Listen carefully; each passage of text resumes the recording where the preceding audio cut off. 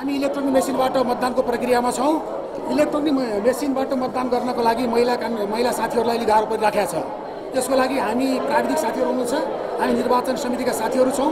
हामी सहयोगी रूपमा उहाँहरूलाई सहयोग गरिराखेका छौँ। र हामी सकेसम्म आज बेलुकीसम्मलाई यसलाई निर्वाचनको परिणामको घोषणा गर्नेमा छौँ हामी।